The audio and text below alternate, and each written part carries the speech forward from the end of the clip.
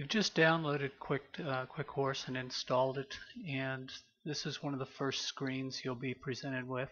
Before we go further, let me just tell you that um, basically I like to refer to this system as a two-fingered system as far as operating. Uh, it's either a uh, right mouse button click or a left mouse button click and for most of the features of Quick Horse that's all you need to operate. You very rarely have to type in anything at all. So with that being said, uh, typically your left mouse button is used to select features and a feature is uh, one that's contained in what appears to be a slightly three-dimensional button. We refer to these as buttons. Here's a button, there's a button.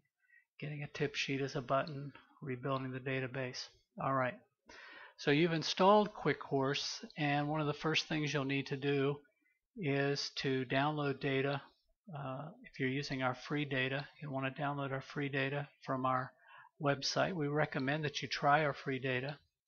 Uh, it's a lot uh, less expensive than the pay data. You can also use the Bris DRF formatted data, whether you get that from Brisnet or some other site. But for purposes of this demonstration, since most of our users do use our free data, I'm going to go ahead and show you how to download free data. So pick your free data. Oh, there's, there's one more point.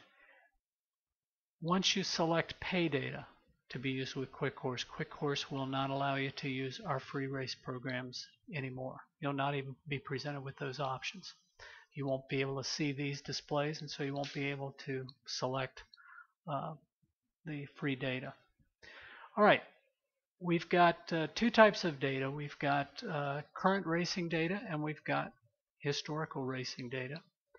And what I'm going to do first is I'm going to do this in the order that you should probably do it in. First of all, you've got a track name in mind. The track name I've got in mind is Charlestown.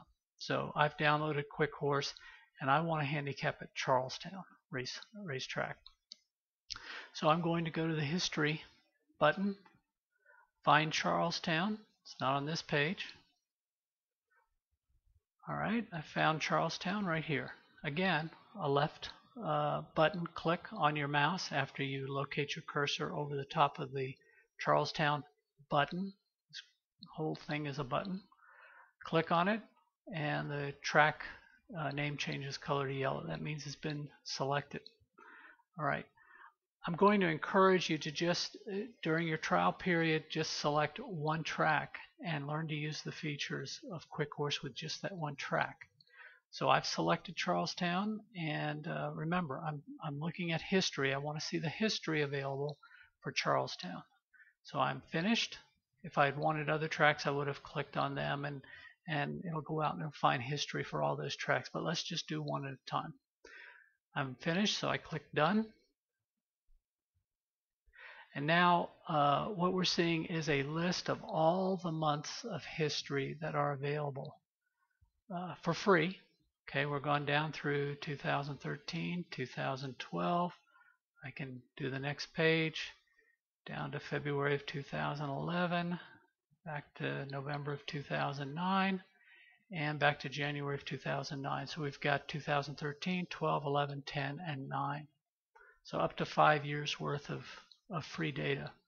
Now, uh, each of these months, uh, this free data um, is a rather large file. And so if you have um, dial-up service, obviously it's going to take quite a while for you to download these files. For something like DSL or for, or for uh, cable, like Comcast cable, uh, not so much. Okay, so I'll just give you an idea. I'm just going to download, I'll download July and I'll download June. And I'm using DSL here so you get an idea of how long it takes uh, with my internet connection. Hopefully you've got high speed. QuickHorse is going to work a lot better for you if you have high speed. Most of our customers do. So I've selected the months of history I want to download. Click continue and the data is downloaded for you automatically. Now this data that's downloaded includes all the races at that track during that month, all the horses, and up to 10 past outings for each of those horses and any workouts, up to 10 past workouts for any of those horses. So in just that short amount of time, Quick Horse has downloaded the historical data for you. The next thing you want to do is you want, you obviously want to use Quick Horse to handicap races, so we want to download the most recent entries and charts with the uh, free, again, this is the free data. So we click there, find our Charlestown. Oddly enough, it's it's been selected, and the reason why it's been selected is because you've already downloaded history.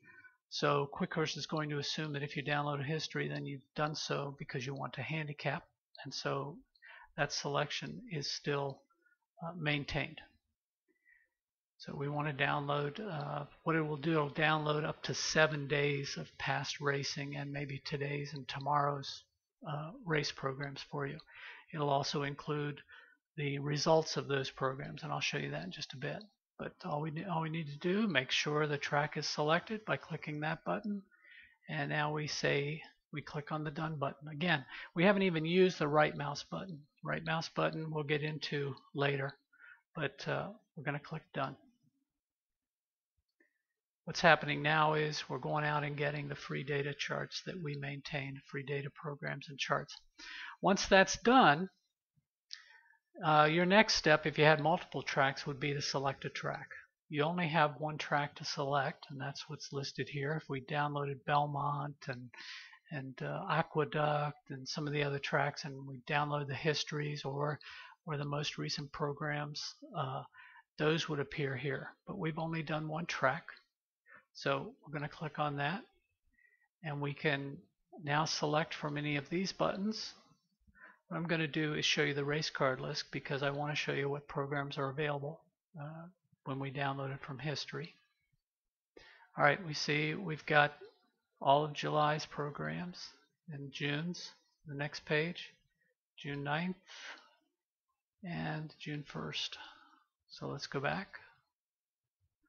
And now I'm going to pick on a particular um, race card that's that's already been um, the charts have been downloaded for so we have the uh, results and what you're seeing here is an actual screen that you would use to handicap races I'm going to stop right now and we'll continue this discussion in another video. This video was designed or was was done to take you through uh, just downloading uh, data and so we'll talk about handicapping uh, in the next video.